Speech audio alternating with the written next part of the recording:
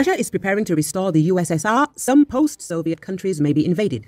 Russia hopes that victory over Ukraine will help restore control over the former republics of the USSR. That's according to an op ed by the chief of the Foreign Intelligence Service of Ukraine, Oleksandr Lytvynenko, published on the agency's website and originally posted by The Economist. Vladimir Putin, Russia's president, hopes that victory over Ukraine will help him regain control over the former Soviet republics on the principles of Russian imperialism that both preceded and have followed the communist era.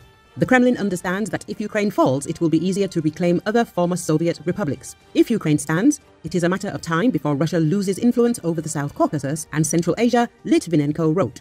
As he noted, Russia believes that by attacking Ukraine, it is simultaneously fighting the West, primarily the USA. Therefore, another goal Russia pursues is to set up political and military conditions for further confrontation with the West for the restoration of the Russian Soviet Empire in its greatest expansion since World War II.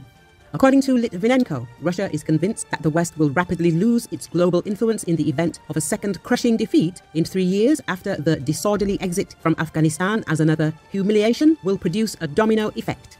Revisionist states, which have their eyes fixed on Ukraine, would see this and conclude that their time had come. As a result, within a few years, a new multipolar world order would be established where the most important issues would be resolved by a number of competing major powers, including Russia, Lytvynenko writes.